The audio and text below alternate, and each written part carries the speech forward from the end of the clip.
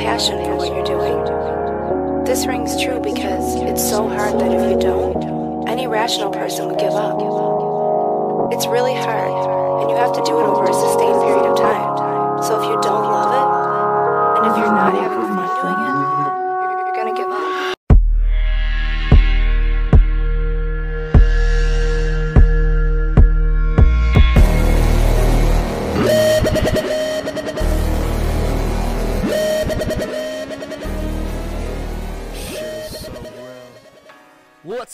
everybody? Welcome to another episode of Jon's Untitled Podcast, a partner of MoshPitNation.com. This week's guest is Matt Deis, formerly of All That Remains, currently of CKY. That's right, the big old fuck CKYU. And with me, as always, is Daniel Terry. How are you doing? I couldn't be doing any better if I woke up with my head sewn to the carpet, Jon. That is a that is a new one. Is that from Saw 17? No, that is from uh, Passive aggressive from... dads. That's what Saw 17 the franchise turns into. No, that that's actually an old school one. Uh, that's uh, National Lampoon's Christmas Vacation. Oh. When Oh yes, that's right. Cousin Eddie Yes. asked Chevy Chase, "How you doing?" And he's like, "Eddie, I couldn't be doing any doing any better if I woke up with my head sewn to the carpet." That's right. I forgot about that. Which is about how I feel after the week I've had. Yeah, you have had quite the week, which is why this episode is uh, getting on a little bit later than than normal. Uh, you were gone away, uh, like Cold. Uh, and if you want to hear us talk about Cold and a lot of other active radio rock bands from the 2000s, go to our Patreon episode and uh, hear us talk all about it. I think our top 10 lists, while slightly similar, uh, vary enough that will get you going back to your iTunes accounts or your Spotify's to go listen to those. You were gonna love it, I promise. It's one of our longer episodes too, and it's just us. Mm, Beautiful. secret lovers for two How long did dollars. How long did it take you to edit that one, Jon? Uh, not not at all, because I didn't Oh, really you have just- to do. It's not Just like we had- raw. yeah, I was like we didn't really have intros and we didn't really have uh, outros to do, so it's just the raw sound song, and we put a song in the front that we always do, and uh, a song that if you pay the two dollars to hear it, uh, you will find out the song we end it with. That's beautiful, man. But uh yeah, man, yeah, I was uh, away. I was out of town. The first half of the week was just work stuff, which I'm sure nobody wants to hear about. Uh, the only thing that I will say on that is we did not have Wi-Fi in the two-star motel we were staying at. Uh, because whenever the boss sends you out of town, he sends you out of town very cheaply. So uh, we were in a two-star motel with no internet access and really bad cell service. I couldn't even like text people when I was on the job site, I could text people, but then like apparently that's not when you're supposed to text people is when you're working. Right. So um, yeah, so that was an interesting weekend. And then after that, I packed my bag. I came home for about, uh, according to my wife, I came home for about five minutes, and then I left and went to the Nashville Rock and Pod Expo. How was that this year, the second year, and your first actually attending as a podcast? Well, it was a much bigger venue. I could definitely say that. Uh, last year, it had kind of a flea market aesthetic, where we were in this big long building that was filled with vinyl collectors. I mean, it was still really cool, but this year it was more like an actual venue uh, with a bar. They put all the podcasts right by the bar, which is a really good idea. Uh, I mean, most of us drink during these interviews anyway. absolutely. And uh, from the pictures that I posted, we actually brought our own beer as well. Because you can never it was a be too careful. It wasn't, but you know, it's just how we roll. All alcoholics, I guess. But no, it was fun. Uh, we met a lot of cool people. We got to interview uh, Toby Wright, the famed record producer. Um, got to finally meet uh, Scott Bowling in person, which was cool. And uh, we also got to meet Joshua Toomey in person, who we've met before. and uh, you know, we also got to um, we met the Roach Coach crew. And uh, believe it or not, Jon Scott Bowling was very disappointed that you weren't there. I know. I had a baby shower to go to that day. I mean, I don't, I, I don't know if he was about to cry or maybe if there was something in his eye or, or what, but he was was genuinely disappointed that you weren't there, man. Well, if I would have met him, I would have been like, Scott Bowling, he's all strikes, no spares. Perfection. You know, it's funny before before I actually watched the show, I really thought it was legit because I'd seen ads for it. I thought it was legit a show about bowling, and I was like, Well, I can "Uh, see that we'll good see." company, good company with bowling, like thinking like, yeah, you're having good company while you're bowling.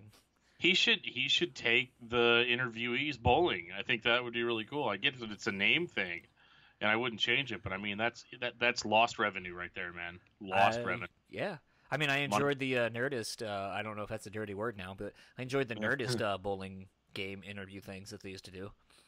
Oh yeah, yeah, I Celebrity remember bowling. those. Mm-hmm. Yeah, Scott Bowling. But, uh, there's there's your new idea. All we ask is that uh, you invite us on sometime and uh, you pay for the game. I'll pay for the shoes. Oh, cool! I don't have to pay for anything. I'm loving this deal, man. Uh, I mean, I'm paying for the gas. you're paying for the alcohol. Well, well, I, that's implied. I mean, I would I would buy that anyway, so I don't really consider it if it's part of my normal budget to be me paying for it. So we got that going for us. But anyway, yeah, man, it was cool. Um, it was very uh, classic rock centered, uh, which is what it was like last year. So we had a lot of Kiss podcasts, a lot of classic rock. Um, my co-host on my other podcast, Joe, was actually on a Bruce Springsteen uh, based podcast. It's so funny. I, I went to buy some. Please tell me it's called on the or on the run or born to run. No, I'm trying to remember what it, I think it's called. Tramps like us. Ah, eh. And uh, anyway, yeah, they, it's funny. He was because they were set up right next to us, and I went to look at the vinyl, and I came back like three and a half hours later, and uh, Joe had already been in a podcast, had been on a podcast while I was gone. Which is And really weird because he's the one that doesn't talk the most typically.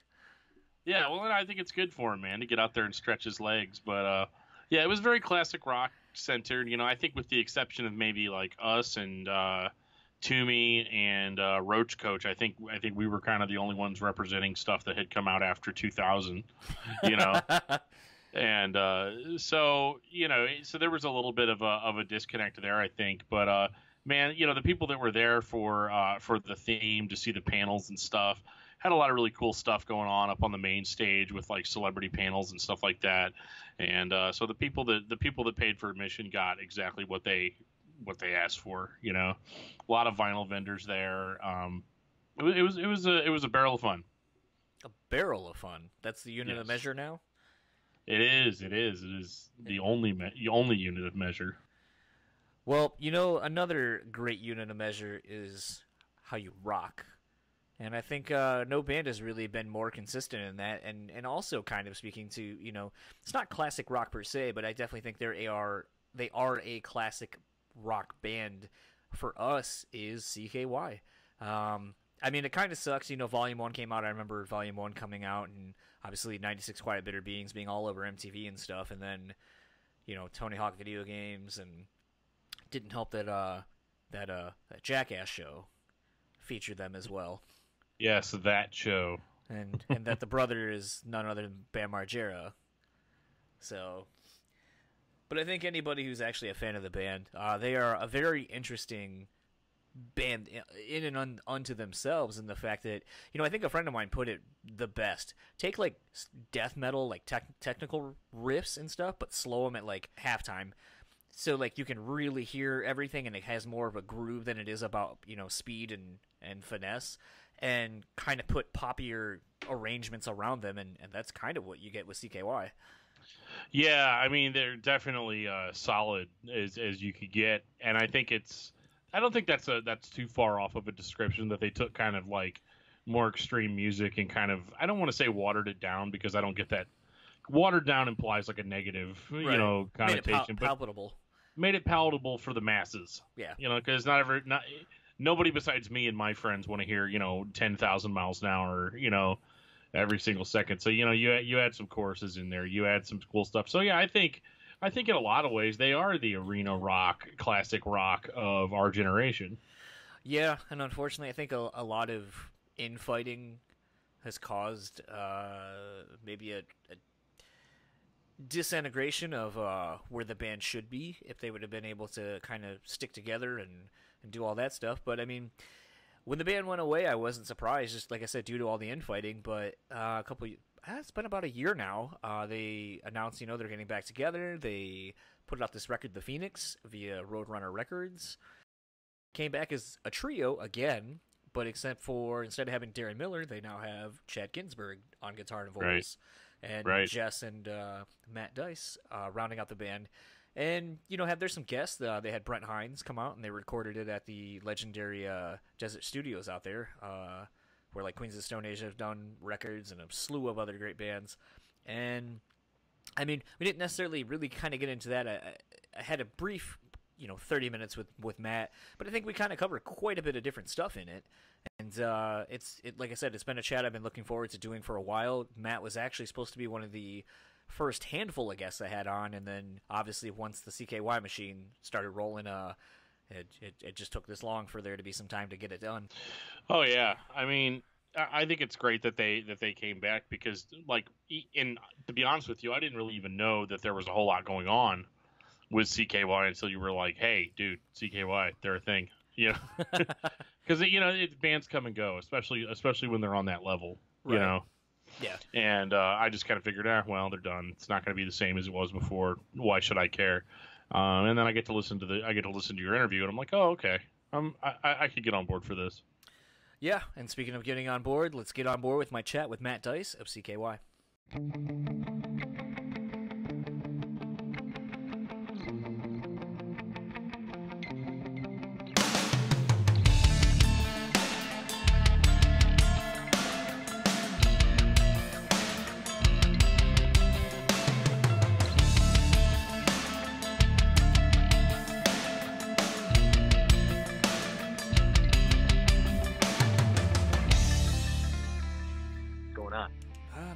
Getting ready to go see Slayer as soon as I'm done with this.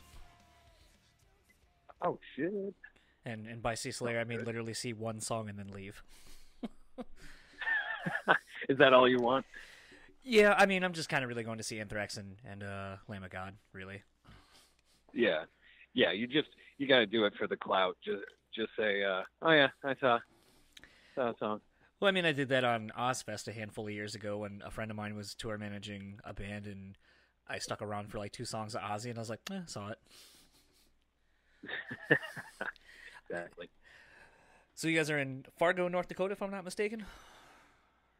Yeah, it's actually the first time I've ever been in North Dakota. Do they do they have the accents like the movie or no? They do. Um, they uh, they say bag like bag and like I don't know. It's it's pretty crazy.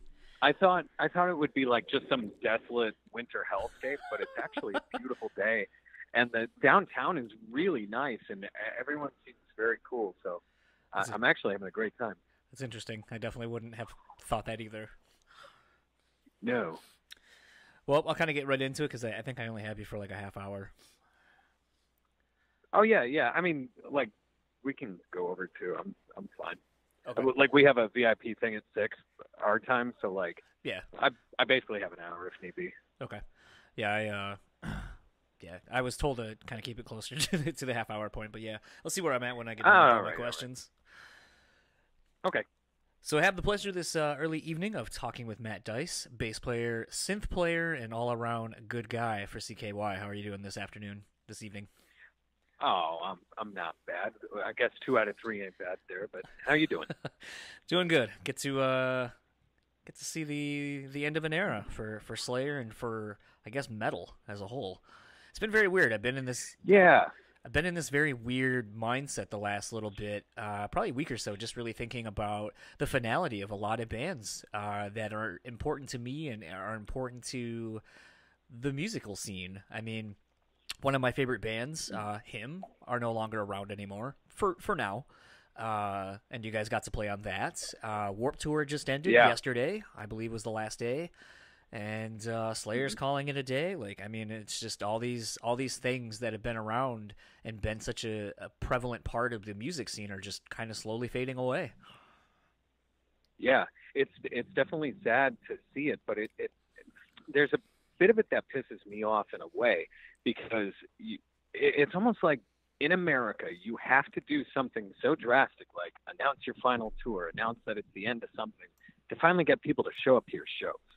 um, it, it, the culture of going to gigs has been long dead before you know these giants have even retired. So it's something where yeah, it, it sucks to see Warp Tour go, but I hope people realize Warp Tour is just a collection of bands that maybe on their own do eight to two thousand people a night, if if, they do it, uh, you know, a headlining gig at a club.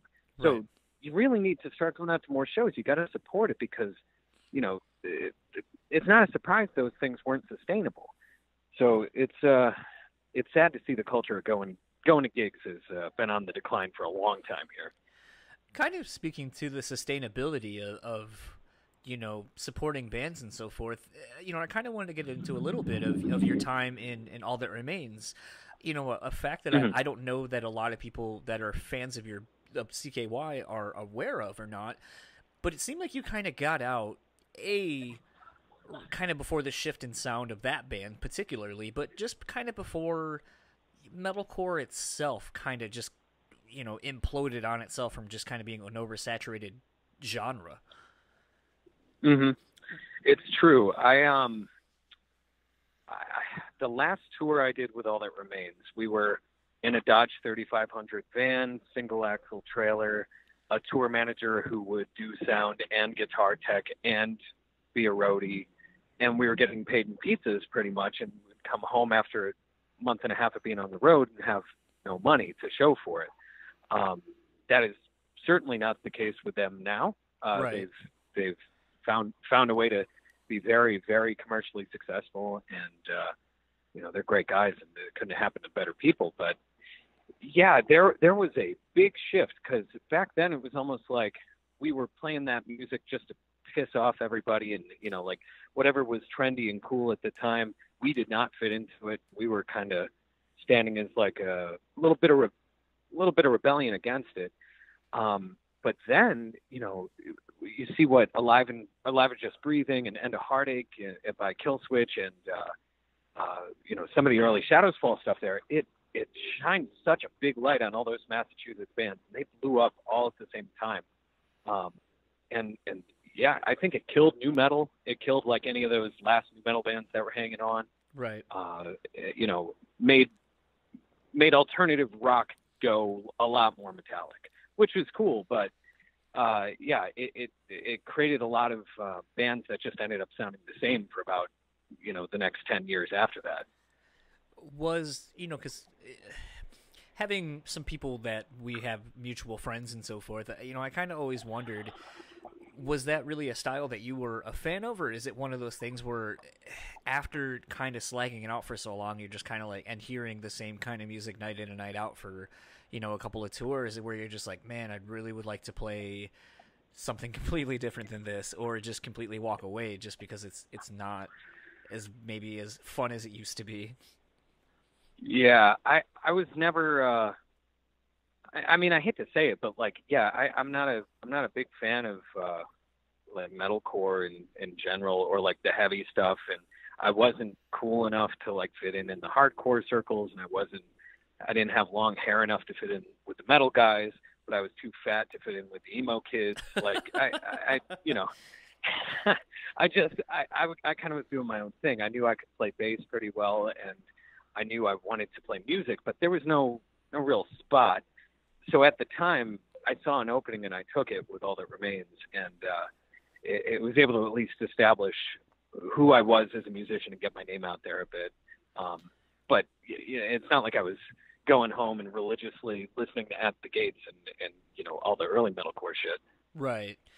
So, how exactly did you end up joining CKY? I mean, th- they've had a handful of players, and the whole thing with Vern and stuff like that, you know, Mhm. has been well, literally well documented. But I don't think I've ever really heard or seen like exactly how they found you. Well, so with, with all that remains and the tours we did, I would have to drive a lot because I wasn't um, wasn't drinking age yet. So Okay. I, I, you know, I was usually the the sober one after shows. So I was doing a lot of the drives, and so by doing that, I get free range of the uh, the stereo. And I had a friend make me a mix of uh, I don't know a couple of bands that he liked, and on it were uh, I think like five tracks from Infiltrate, Destroy, Rebuild. And I, at this point, I really didn't know anything about CKY other than the Bam Margera connection, but like I never jumped into the music or anything like that. So on tour, I was listening to it a lot, and I'm like, man, this band is uh, kind of got it all that I like. The playing is technical, like the guitar work is technical. The songs are catchy and hooky, and with no screaming all over the fucking thing. so I, I, I, I said, you know what? When I get home, I'm gonna, I'm gonna look them up, see if they're on tour. Uh, you know, kind of get to learn a little bit more about them. And I got home, I went on the computer and I went to their website, and I saw that there was some article that said like search for bass player continues, uh, and I was like, holy shit, is this a sign? I you know see what I can do here. I scoured their website. I couldn't find a contact link or anything, but I saw a webmaster link at the very bottom, and I shot an email saying like, hey, total shot in the dark here. I don't know if like you just make this site or if you're affiliated with the band, but I play in a band called All That Remains. I would love to uh, learn more if, if you're still looking for a bass player. Just total shot in the dark. Sent the email and completely forgot about it. And then, then the next day, I got a response saying, "Oh, uh, I've heard of C- or I've heard of All That Remains. If you could play that, you know, you definitely do this. Or what are you doing next week?" And I had some back and forth correspondence with the singer, and I, I, I guess I didn't even take it seriously at the time. And I was like, "Oh, you know, nothing next week." That couldn't have been farther from the truth, though. All that remains was getting ready to go on the Sounds of the Underground tour, which was the Yeah. tour that ended up breaking. Yeah. So I think there was maybe a month before that tour happened, and I just out of nowhere agreed to fly to Los Angeles to what I thought was just audition. It ended up not even really an audition. It was like, here's 30 songs. Can you learn them? And I did. I, I spent the time out in LA learning it, and then I, I flew back home to Massachusetts, and I, I sat and I learned uh, pretty much every song out of their catalog by ear. And then next thing I know, it was like, well, cool. Well, the tour starts in uh, in a couple of weeks. Uh, are you gonna? Is there gonna be a conflict with all that remains? And I was like, oh, holy shit! So I guess I have the gig. Like there was never a, oh, you're hired. It was just like, no, you're the guy. It all happened really quick, and it, it was my first real experience with like having to, you know, do my own thing at maybe the expense of someone else, and it, it made me feel bad. But I had to I had to quit all that remains, like, and leave them high and dry right before this huge tour that they went on, and uh, you, you know, it, it broke my heart to do that, and they they had some ill will towards me for for a little while, understandably. Um, but yeah, within a month time, I was driving the van, getting paid in pizza, and then on a tour bus with CKY doing a, a full sold out North American headliner, and it was it was just such a huge experience for me. And I, I I think what was I maybe 20 or 21 years old when this happened. So it was uh, it was a lot to get thrown in my lap at once, but it, it was a pretty incredible, surreal experience. So uh, around that time is around the time I would have seen the band for the first time. Uh, when and maybe my timeline is slightly wrong. I mean, it's been a long, long time, but uh, Yeah, because technically, when you came on, if, from what I remember, officially, you an answer had an answer can be found had just come out. You didn't play on the Mhm. record, but you were credited as being a member of the band. Is my timeline on that correct? Yeah, yeah. I had um I'd missed out on all the tracking and uh, I guess missed out on even knowing who they were as people when that was when that album Answer Can Be Found came out. So I was basically coming on as the live bassist for the touring for that album cycle. Okay. So, So- yeah, two, 2005. Okay, so that's when I saw the band for the first time on the Fireball Ministry tour that you guys were doing. And Oh yeah. It was kind of interesting because I remember there being and I don't know if this is like this anywhere else in the you know on that tour that you did, but I you know I got a lot of I heard a handful of people kind of being like, you know, fuck, fuck the new bass player. We want Vern back, and it's like it's it's just kind of Yeah. weird because it's like, well, he's gone kind of for a reason, uh, Yeah. but still, it was just kind of interesting to to see. You know, I knew the fan base is obviously very rabid, but it was very interesting to see how Mhm. loyal people were to to a specific member, even though he wasn't even the original bass player either. Um, Oh yeah. but I was going to say, all that aside, Yeah. though, you know, you kind of joined at a very seemingly dysfunctional time for the band. You know, IDR came out, I did very good, and then this record came out, and it seemed like it kind of fell on deaf ears, and then the inward fighting, and it wasn't. I don't. Well, no, you guys put out Carver City a couple years later, but it, it was one of those things that just seemed like the, there was just a lot of turmoil in the band. So it's like you know you're saying like I went from a you know going to I was in a band that was in a van playing for pizzas basically to being in a, a sold Yeah. out tour going across the U.S. But now I'm in a potentially more dysfunctional environment than I ever had been, and I'm trying not to put words Oh, in your yeah. mouth either, though. Yeah. Um. Yeah. You know, like I, I never want to speak ill of anyone who can't defend themselves or anything if they're not around. But um, it, it you know, it, it was it was definitely a dysfunctional time with the band. Um, and you know, everyone had their problems. Everyone had their uh, demons and egos and stuff like that.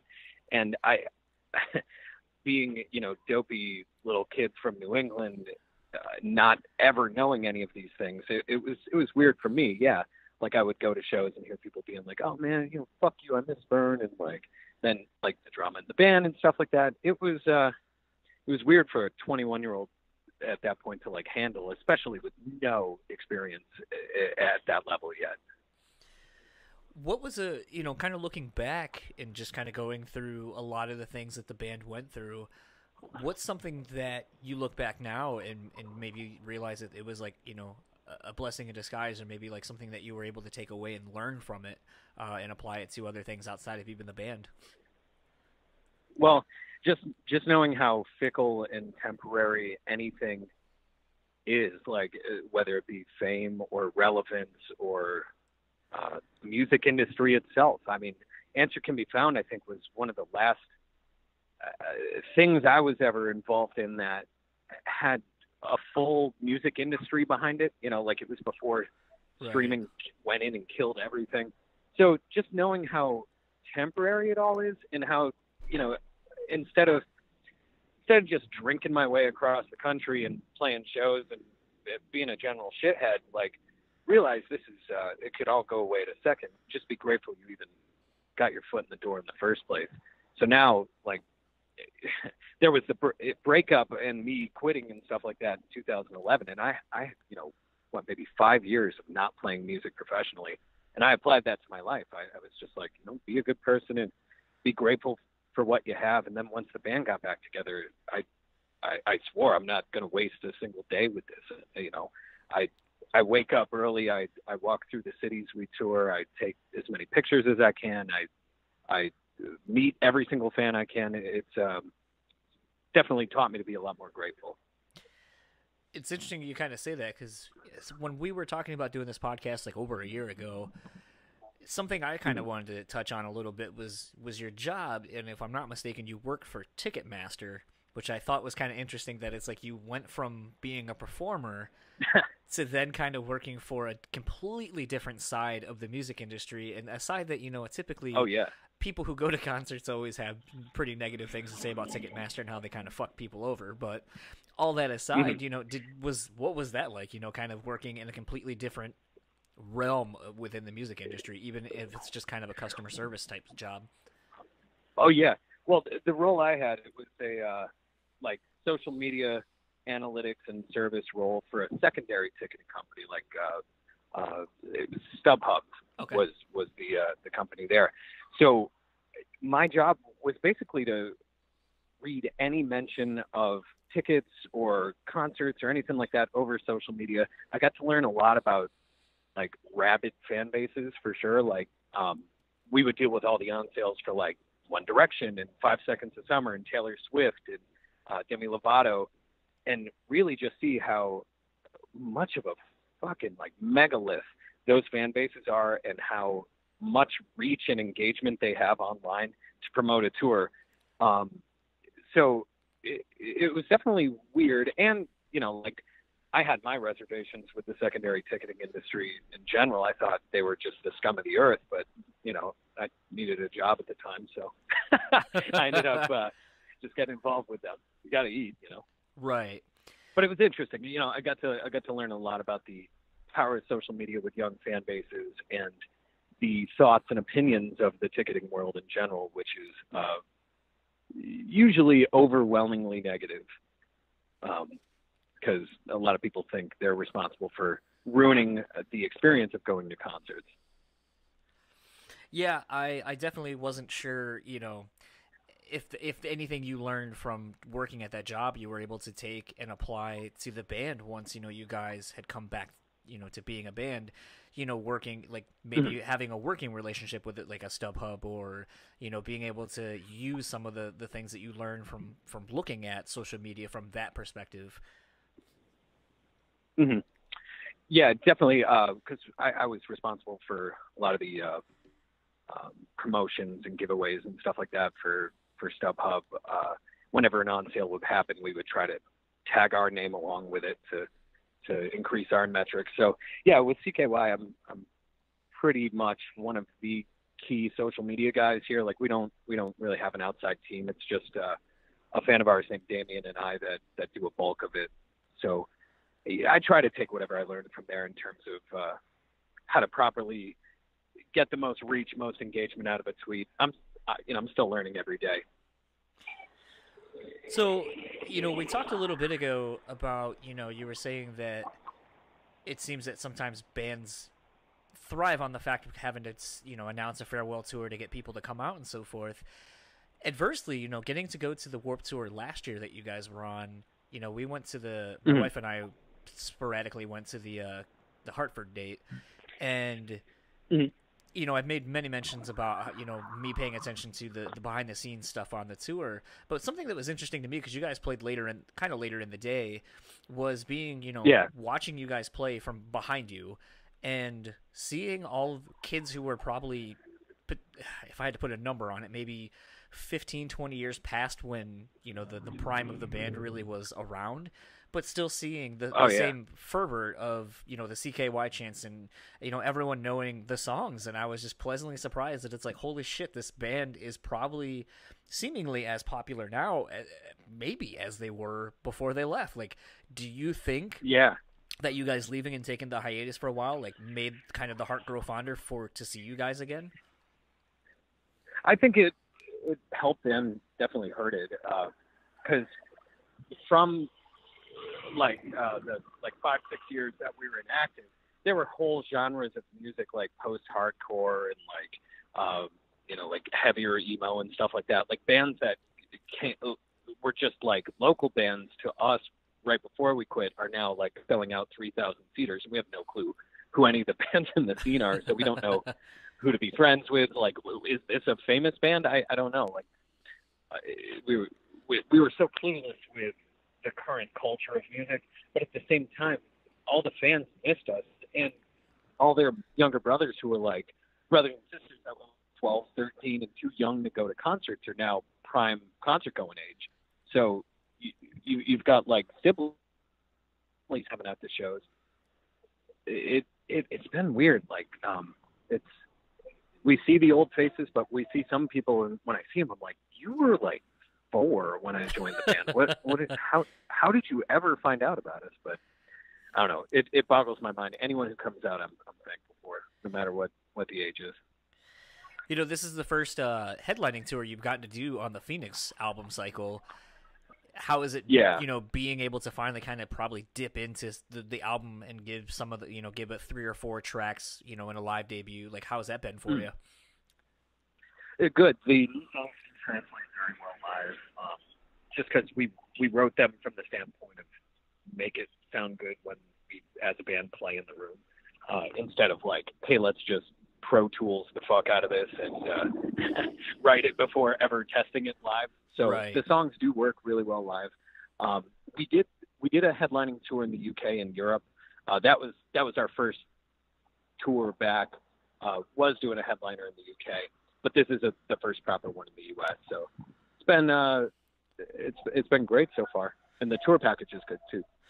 Yeah, I, it's a pretty diverse package. I mean, all all, all things considered, and uh, definitely the other Mm-hmm. Yeah. thing that I took away from from listening to the songs because, you know, I never saw the the iteration with Daniel Davies in it, but I mean, Tyler and I used to talk about how that was probably one of the more stronger representations in a live setting of the band than had been in Mhm. existence for a while. And so to see you guys Yeah. play technically as a three piece, even though uh, at least on the Warped Tour, uh, Shitbird was kind of doing the ancillary like synths and so forth. Uh, I don't know if he yeah, still we is. just yeah.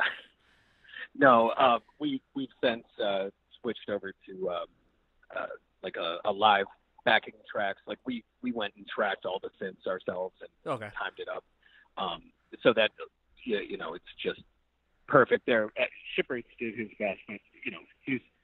We needed a keyboard player, so we got the best drummer we knew. well, that was the thing. Is like I remember looking, and my wife walked wandered over to that side of the stage after a little bit, and then I go, I go, is that dude next to you, off to your right? Is he really playing the keys? And she goes, yeah. Why? And I go, because he's a drummer. and then she goes, oh. And I was like, I yeah, I didn't know he played keys, but okay, like, well, that's fine. I just didn't know if he legitimately was Yeah. playing keys or if it was just kind of like a, a fun rib, like, all right, we're gonna have you know Shitbird quote unquote playing the keys on this, and I was like, eh, you know, learn something new every day, I guess, but made me wonder. no, he he did it. We we sat down with him for about two months straight. We made YouTube video after YouTube video, tutorial after tutorial. he uh, he, he we basically gave him a primer on how to play piano. It was uh, um, he he was able to accomplish a lot in the short amount of time he had, but ultimately it, it, it wasn't for him. But he was the life of the party at Warped Tour. It was probably one of the best summers ever.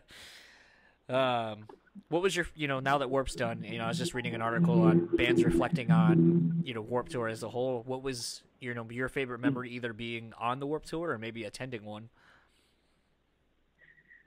Um, I I don't know. As far as best memory, each day bleeds into itself because it, it's so similar. You wake up in a parking lot, you start setting up your camping gear basically up behind your trailer, Right. and uh, you know you, you wait for catering to happen, and then you hope a porta potty isn't overflowing with shit by the time you need to use it. Um, but just the camaraderie after the shows when it you know the sun's gone down, the last stage is is wrapped up, and you know say it's 10 p.m. and your bus call isn't until three in the morning. You get to hang out with all your peers and like bands you admire and bands that you discovered, and and learn that really no one's all that different. We're all out here fighting over the same shallow money pit. We're all doing our best. We're all missing our families. Um, it, it, it was great. I made a lot of good friends. So that the friendships were definitely the best part. You know, another thing, and, and I feel like this is kind of low hanging fruit, but I mean, as a as a fan of the band and a fan of, you know, just music in general, I, I often wonder these things because now I'm hmm. at this age where this shit is happening and it kind of freaks me out. But, you know, Yeah. Carver City turns ten years next year. Are you Yeah. guys have you have has there been any entertainment of maybe doing like a, a one off show or something where you kind of play it in its entirety? I mean, I remember when it came out, it took hmm. it took me a little bit to get into the record as a whole, but I think it's because it honestly was a full album, not just here's a couple of singles and then here's some you know kind of filler around it, but it was a full on album. Yeah. And so I feel like Yeah. maybe now, 10 years later, people can kind of appreciate the record for what you were trying to do then that they just weren't ready for. So I don't know if maybe there has been any interest in revisiting that record and kind of giving it a, a, a live, you know, playthrough, or if you know nostalgia tours like that are I- not really in, what you guys are into. we're we're really trying to avoid any sort of nostalgia as is. Just you know, like it, it's hard enough where you know you you get a, a small handful of people at the shows that expect Wee Man to be there, and like uh, you know they they're just here to hear that song from Tony Hawk, and uh, you know so what we we try to avoid any sort of nostalgia stuff as we can. But Carver City at the time when when we played those songs initially ten years ago, they went over pretty piss poor live. Like the, it was definitely not an album written for live performance. It was uh, just kind of uh, created uh, in the studio. So it, it's left a bad taste in our mouth. We don't uh, hardly ever, if at all, play songs from it. But I, I guess anything's possible. We're we're always going to try to revisit all the material we have because you know with the headlining sets you gotta you gotta fill fill the time. But we we find you know like the infiltrate, the volume one, uh, and then of course songs from the Phoenix seem to go over best for live performance. And then, uh, kind of in, in wrapping up, you know, you guys, uh, you know, like I was saying, you you did Warped Tour last year. You you did a European run. You're doing a, a U.S. run right now, and then another European run.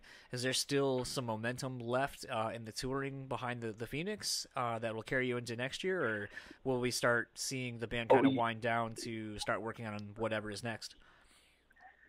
Well, we have we have something in the works, some new music that should be scheduled to hit. Uh, I, I believe Black Friday. Don't quote me on that exactly, but um, uh, some new music is going to hit, uh, which at that point we're going to uh, make another push and, and have some more tours coming out. But we will be announcing another tour very shortly um, for some dates that are they're coming up quick, hitting a lot of the cities we haven't done on this run, and uh, going out with with a band that I'm very excited to. I, I just can't say who yet, but um, yeah. So we'll we'll be we'll be announcing a, a another tour pretty soon. We have uh, more music scheduled to come out in November. Um, we we don't want to slow down at all. So we're gonna we're gonna try to. Hold on. Hold on. Sorry, I had to. You know how iPhone does scam Oh, yeah. likely yeah. had one of those numbers just calling me. Um, so yeah, we we have no no uh, desire to slow down or take a break in any way. We've got more music to come, more tours to come, and uh, frankly, we just don't want to do anything else. We we love where we are. We love the fact that uh, that we are so busy is it's a blessing because even you know 10 12 years ago whatever we we had never played this many shows in a year Right. so that we're we're the busiest we ever have been. We don't want to slow down. And then, uh, lastly, where can everyone find you and or the band online? Well, I've since deleted my Instagram, uh, I thought I but noticed that. you can see the yeah. That, sorry about that. Um, yeah. So CKY Music at CKY Music on Instagram and Twitter, and I'm still on Twitter at at Matt Deis. Uh, Deis spelled D E I S. And then uh, I always like to end these episodes out with a song. So, what would you like me to play it out to, and maybe a little backstory as to why? Doesn't necessarily have to be a CKY song if you don't want it to be. Hmm. How about how about this song "Focus Shall Not Fail" by All That Remains? That's one I'm really proud of from the This This Darkened Heart album. Okay. Well, Matt, uh, thanks again for taking the time. And if you are listening to this, uh, CKY is still out with Slaves and Royal Thunder until September 2nd. And then basically they will be hitting the overseas market from November 30th until December 14th. And as you heard, lots of touring to follow into the new year. Yeah. Hopefully, hopefully Thank you one very will come much, to uh, Grand Rapids. I know you guys haven't been here in fucking forever. I- It's one of my favorite towns to come to as well. So I'm, I, I I hope this next run comes there because I, I do love it and I need some of that good beer. Ha! Well, if you guys come, I'll uh, try to bring you some, and uh, maybe we can do an in-person chat as well then. Hell yeah, Awesome. Well, thank you again for your time, and enjoy the show tonight. dude. Thank you so much. Good to talk to you. Yeah, you as well.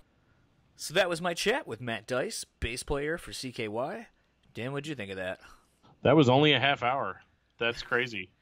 Like, Yeah. they- I mean, it was just. you- I mean, I don't know. I don't know if you're just becoming a better interviewer or like the amount of content in there because it definitely felt like a 45 minute, Yeah. but uh, but definitely um, chock full of a lot of interesting stuff.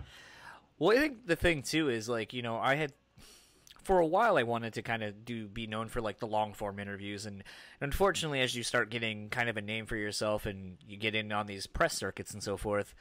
Uh, you just kind of tend to find that that's just not really possible. Uh, people have a finite amount of time. They're usually doing other press, other media, so you can't, you don't get a full hour or two or three in some instances. Um, I don't know what you're talking about. yeah, but uh, but it's definitely one of those things where I think uh, I think I've gotten better at you know having a, a time limit, and I think it just comes with the repetition of like, okay, you get like 15, 20 minutes with somebody, and it's like or thirty minutes, and you're like, all right, how do I incorporate a lot of information in a short amount of time and you you pray and hope that the person actually is talkative so like the kind of helps as opposed to like you can ask quick questions but they give you a lot of, of depth in the answer. And I mean, Matt re- did a really good job with that. Like, he's not really the one known to do a lot of interviews. Typically, it's Jess and Chad.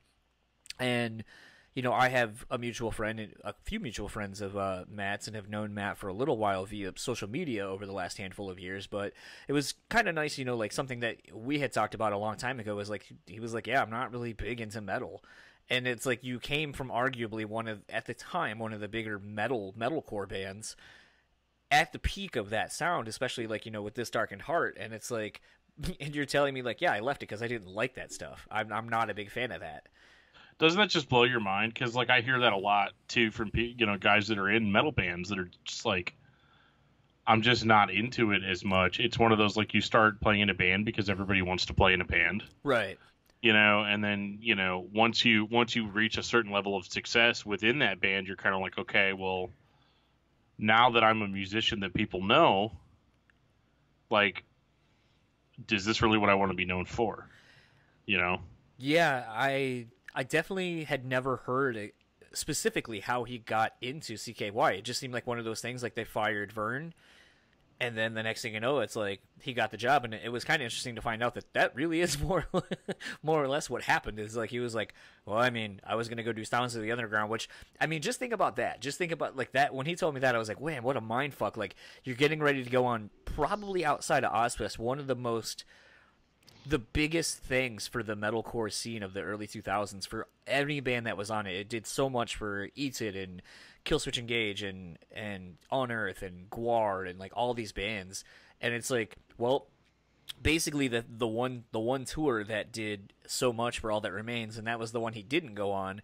Yet then he turns around and goes on the CKY tour, where basically it was just sort of the beginning of the end uh, over the next couple of years. So it's it's kind of interesting. It's like that damned if you do, damned if you don't. Like okay, like you didn't want to be in a van anymore, and you weren't really pleased with the sound. However, like you're making more money, but there's a other problems.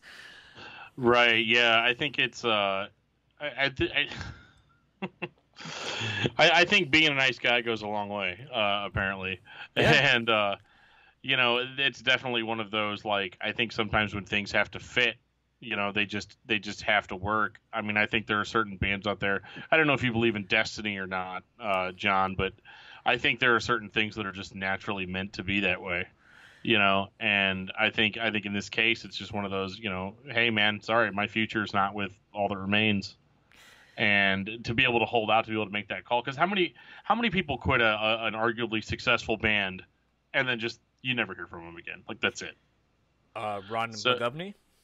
for well yeah but besides okay well Well, I just heard him on a podcast. That's the only reason his name is like fresh in my mind. I, I guess what I'm trying to say is that uh, I, I guess what I was, I was trying, trying to say is that some people just have a certain amount of intuition to them, Right. and I think it's a mixture of intuition and drive, Yeah. where you're able to just kind of um, you know something better's coming for you, and you're just kind of holding out for it. And you get to the point where that intuition is actually you're putting everything on the line, and then you're coming back in a major way. And that's the one thing that I think is the most inspirational about this story specifically. Even though I think I know you guys didn't really get into that, it wasn't like you know, oh god, it was just fate, and I could just feel it. I just I kind of get that vibe a little bit from it, you know. Um, that it's just one of those like I, I know that I'm destined to do something else, and uh, and and and to step into to step into some pretty big shoes, you know, while while he's at it. Yeah, but uh, no, I mean, and then the other interesting thing too that I thought was, uh, I mean, I'm looking forward to another tour, maybe hitting some B and C markets. Uh, it sounds like uh, to end and start the end this year and begin the next year, as well as I'm thinking maybe they are going to put out something for the Black Friday record store day, maybe because he said might be new music Oh, out by Black Friday, and there is a Black Friday record store day, so wouldn't surprise me if maybe they do like a seven inch or a picture disc or something. That'd be cool. That's all speculation, but I'd definitely wait in line for that. uh, it might be one of the few things that uh, would be new that I would actually give a shit about, since seemingly now all we're getting is repressings of things that are 30 years old again for Record Store Yeah. Day. Yeah, that we've all had on CD for years, and all you're getting is the CD version of that, except it's on a record. It's one of those like, anytime I buy something, I'm like, what is the what is the unique factor of this, and what's the point of me having it versus just streaming it? You know.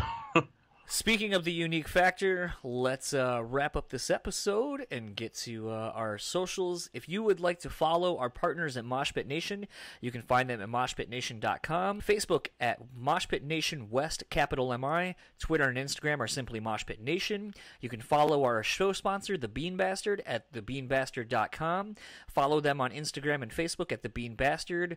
Uh, they just recently started finishing up their coffee carts looks really cool. So hopefully, when I go to Buffalo in a few months, uh, we'll be able to purchase some coffee from the source and send Dan some. I know, I know.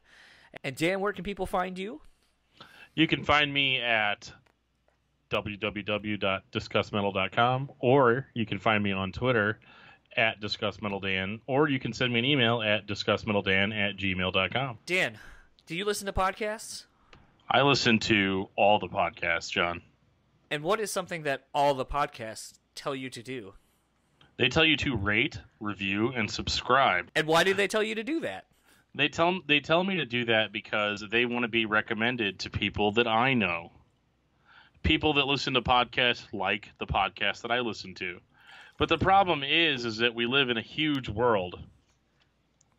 A world that doesn't really um oh what's the word care necessarily about being advertised to, which is why we've gone more the realm of recommendations. They figure if you're already listening to podcasts, you want to hear other podcasts similar to the ones that you listen to. I and how do. do they tell whether you're satisfied or not with those podcasts? How? It's based on whether they're reviewed. It it it really depends on that star rating. It depends on the amount of people that are subscribed to that podcast. That's how podcasts become notable is from people like you just hitting that subscribe button or hitting that review. You don't have to leave us a long review explaining everything you love and hate about the podcast. I mean, do that if you'd like to, but you don't have to. You can just click five stars. And that actually helps us. That helps us out greatly. And there's also other ways you can help out with podcasts. Like Patreon, which, as I alluded to in the intro, we put up our first Patreon episode uh, about a week ago now. Uh, I know pretty much no one has listened to it because I can see these things. Uh, but you know what? We have a Patreon, and I've had it for a while. I just haven't really been plugging it. And I know that the overall the overall thing with Patreon is that uh, you know you got to offer sweet perks, and uh, it's still a work in progress. Like I said, uh, I got a ETA of uh, the new logo being designed, and that'll be just about a two and a half weeks at this point. Uh, and then that'll be going on some shirts, and uh, yeah, basically we're just trying to raise. It's really simple. We're looking to just raise twenty dollars a month just to offset the hosting costs of uh, putting up the podcast uh, and all that kind of stuff. So for a dollar, you get a shout out. At two dollars now, we're going to be doing two Patreon exclusive episodes. Uh, we're going to be recording a new one here pretty soon uh, to go up probably next week, and. Yeah, the first one, like I said, uh, we went through and made our own top 10 list, Dan and I, uh, of the 2000s active radio rock singles. I don't think they're necessarily songs that you might think of. I swear there's no Godsmack. I can't say that there's no Nickelback, but you'll have to find out yourself. And uh, we're just looking to have fun with this and to start getting some engagement from you guys uh, across our socials. So if you'd like to, again, go to the Patreon, throw us some monetary support. Uh, you can find us at patreon.com slash Jon's Untitled Podcast. Uh, and you can keep up with the podcast on Facebook, Instagram, and YouTube at Jon's Untitled Podcast. Tweet at us at Jon's Untitled Pod and email us at jonsuntitledpod at gmail.com. There is a website jonsuntitledpod.com. Uh, but basically, just any of those ways that you want to keep up with the podcast, we're posting new stuff, trying to post uh, different content and so forth, live videos and, and, and all that fun stuff.